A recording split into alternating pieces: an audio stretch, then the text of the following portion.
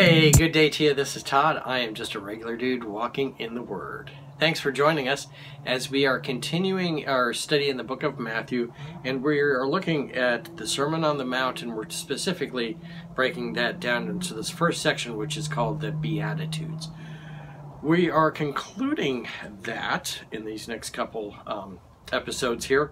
Um, this last, these last episodes are going to be dealing with persecution, and I'm breaking that down it, it, talks about it in two different sections, and I'm actually breaking this down into two sections uh, here because um, of what it says here in the Bible.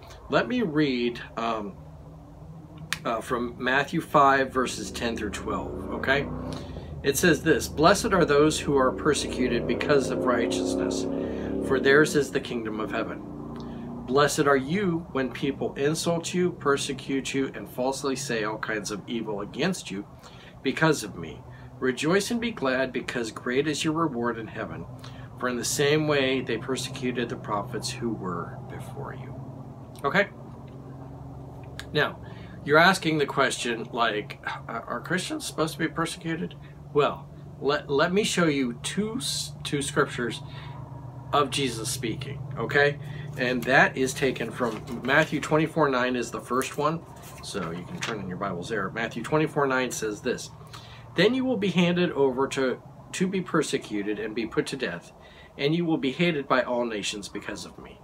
Okay, that's very specific what Jesus is saying here that uh, you will be persecuted and put to death. Okay, so uh, no question there. Still unsure? Let me read, read from John 15 20. Okay. John 15, 20. It says this Remember what I told you. Hmm, remember what I told you. He's been saying this, uh, uh, obviously, for a while here. Remember what I told you. A servant is not greater than his master. If they persecuted me, they will persecute you also. If they obeyed my teaching, they will obey yours also. Okay? So, just so you know, in case you didn't know, um, that if you are a Christian, you will be persecuted. Okay? Now, also, I'm reading through this book, uh, The Beatitudes, The Only Way to Happiness by John MacArthur. Okay? That's that book. He quotes in here, uh, well, he quotes, I'm quoting him. Um, on page 189 of his book, it says, If we don't have persecution in our lives, we'd better examine our claim to be Christians. If I'm not the cause for flack in the world, if I'm not making waves, if I'm not generating some sort of conflict, then maybe something is seriously wrong with me. yeah, something wrong with my Christianity. Um, and then also here, in Luke 6:26, our Lord said, "Woe to you when all men speak well of you." Okay, if you if you're out to please men and have men speak well of you, woe to you. Uh, Luke 6:26 says. Don't ever forget about that. When when you are popular with everybody, that means they don't know the truth about you.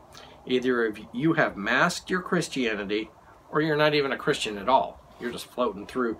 I'm not going to make any waves. I don't want to tell anybody about Jesus. Okay.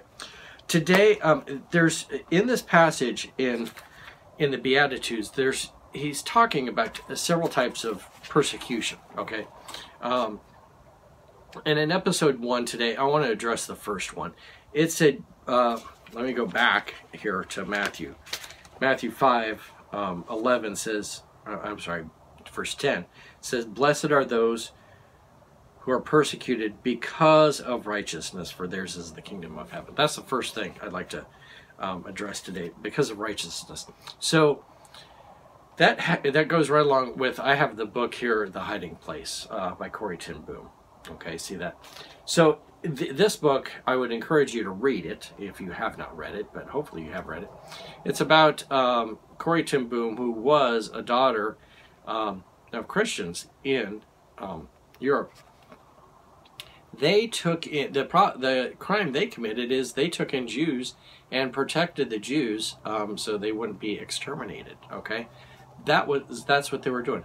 They were doing righteous things. Okay, so they ended up being persecuted for righteousness. This is a good book. This is a good book. of course, and it's a good example of that, how you'll be persecuted for righteousness. Just by you doing righteous things, plan on being persecuted. The world, the world is the world. The world is is self-centered. It's uh, it's uh, not not seeking others. Okay, it's focused on itself and how can I get ahead. So when you do that, you're going to have conflict um, with someone who's righteous and looking uh, to save others.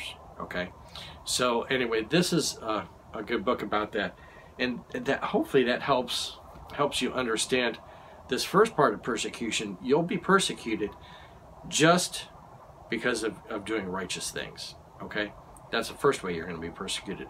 We're going to deal tomorrow with the second way that you're going to be persecuted also.